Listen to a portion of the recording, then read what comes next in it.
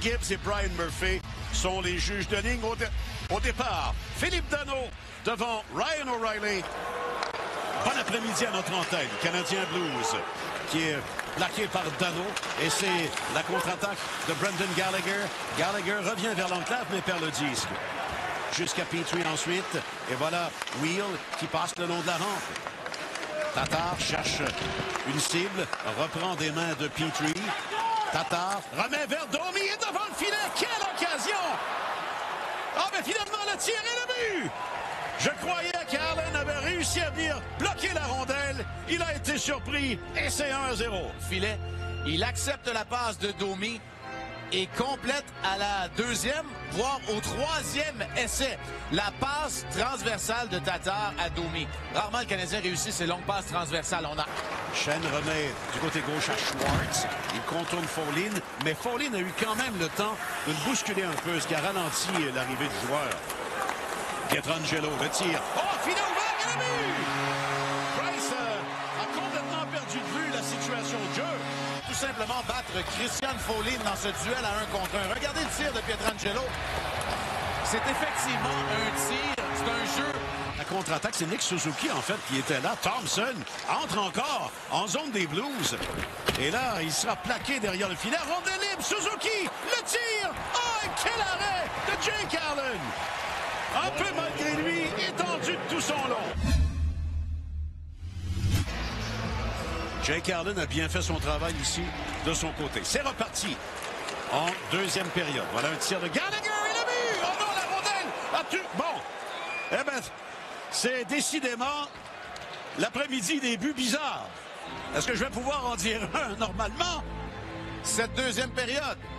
Jeu brisé en territoire central, c'est un tir des poignets, ça. Décoché en entrée de territoire. Gallagher lui poursuit sa course. L'officiel est à peu près le seul qui a tout vu. En fait, le tir allait rater la cible. Et on en parlait en levée de rideau. C'est ce qu'on veut voir, les défenseurs qui se joignent à l'attaque. Oh. Suzuki là, a reçu la jambe de Pietrangelo. Et Pietrangelo sera chassé. Et Suzuki est resté étendu sur la patinoire ou enfin reste agenouillé. Il a remis vers sa gauche. Voilà la longue passe qui revient à Drouin. Drouin reprend une autre fois. Remet à Weber.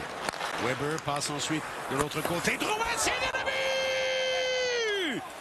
Oh, quel tir et quelle passe qui euh, venait C'était la passe de Tatar pour Domi. Cette fois-ci, regardez le Canadien tisser sa toile. Et lorsque Steen est trop agressif et que O'Reilly ne revient pas à temps pour venir couper la ligne de passe, Kotkaniemi en profite. Accepte la passe de Weber, la refile de l'autre côté à Jonathan Drouin. Jonathan Drouin, là, c'est un excellent fabricant de jeu. Et Cousins complète euh, cette excellente séquence. Là encore, marque une séquence animée par un changement opportun chez le Canadien. Et voilà Cousins qui passe à Thompson. Thompson retarde son jeu, remet devant le tir et le but! Nick Suzuki enfin! Alors que Suzuki va rediriger ce tir, le travail de Thompson, je me demandais pourquoi Thompson n'avait pas rejoint Chirac qui s'est amené pour attaquer.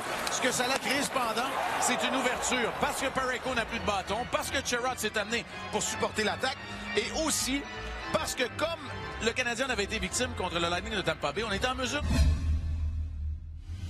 Voilà la contre-attaque des Blues. Et un tir au vol qui est raté là par Schwartz. Tarasenko remet derrière le filet. Shen tente de surprendre Price. Et Price encore une fois qui intervient. Et il n'y aura pas de retour avec 8,56 à faire. Voilà Parico qui remet de l'autre côté. Falk reçoit la rondelle. Et voilà un tir et le but. Finalement, Price au volume défié euh, constamment dans cette situation. Ah, mais on ne s'est pas bien défendu sur cette situation. Comme tu l'as mentionné, des joueurs fatigués, une mauvaise décision de Lekonen lors du dégagement refusé en tentant de viser le filet qui était laissé désert et des passes transversales à profusion. Territoire du Canadien, Allen est aussitôt retourné au banc. Et voilà Cousins qui fait dévier le disque au centre. Et Pareco ensuite redonne la rondelle. Et voilà le but d'assurance, le premier de la saison de Shea Weber, qui n'a pas eu euh, à utiliser son tir frappé, mais vraiment apprécier cette quatrième victoire de la saison. Ça a été un match solide pour le capitaine. Sans, euh, et soyons bien honnêtes, c'est le travail collectif qui va battre le Wild du Minnesota avec ce qu'on a vu euh, il y a 48 heures au Centre Bell.